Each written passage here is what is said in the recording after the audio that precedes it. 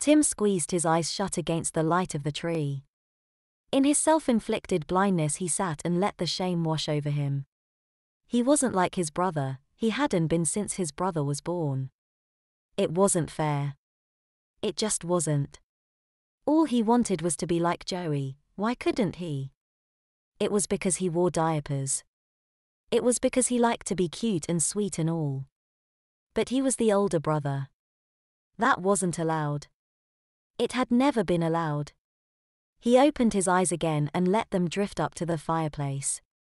Stockings were hung, with care, of course, in the hopes that Santa would fill them with toys or candy or other surprises. Tim smiled mirthlessly. No, not even Santa knew what he wanted for Christmas. He wouldn't bring a pacifier, or a bottle, or a stuffed animal.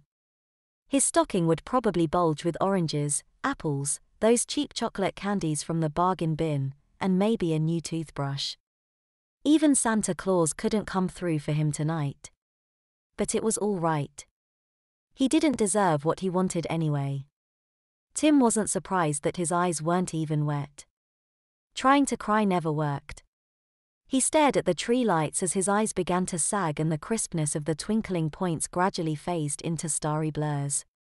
A reflection caught his eye and he blinked twice to clear his vision, turning back toward the fireplace. Quickly his mind grappled with and immediately allowed the utter impossibility of what he was seeing. Any other night, his first instinct would have been to yell for help or run from the prowler who had snuck inside his house. Tonight, it was simply to stare at the tall, round, white haired man in the red suit. Tim was sure he was dreaming. Santa Claus himself was standing right there in decidedly UN imaginary glory. Noticing Tim, the man turned toward him, his corpulent belly swinging around to balance his almost comically sized rear end. His eyes sparkled as bright as the lights on the tree, his beard was not only curly but as white as the blank paper in any child's picture, and his boots glowed with a mirrored shine that would have made any Marine proud. Santa paused a moment and smiled at Tim. The corners of his eyes crinkled delightfully as he winked at him like, well, like only Santa could. Ho ho ho. Tim stared dumbly. Hey Santa. The warm smile rested easily on the old man's face. Hello, Tim. Merry Christmas. There wasn't really anything for Tim to say. He knew Santa Claus didn't exist, the large man in his living room notwithstanding. Um, yeah. Merry Christmas, I guess. He shifted a bit uneasily.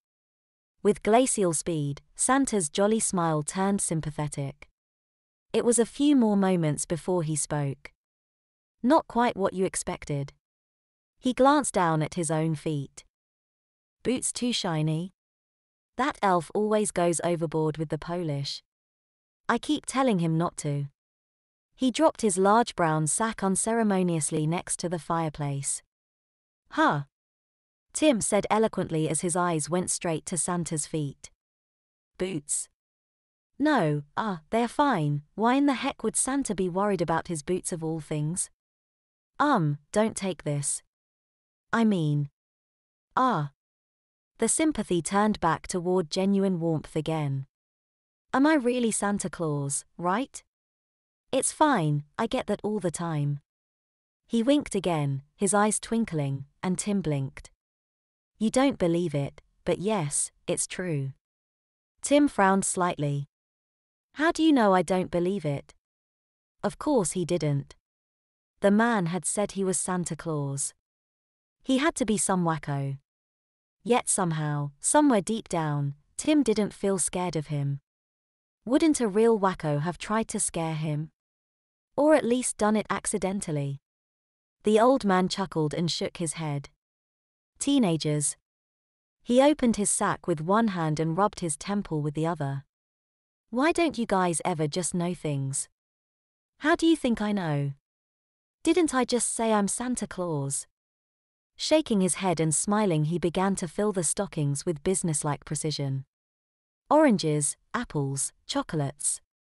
Tim watched him pause and look back at him with a wink and add a toothbrush to his stocking. Tim frowned. Yeah, but, wait, how'd you know my parents always do that?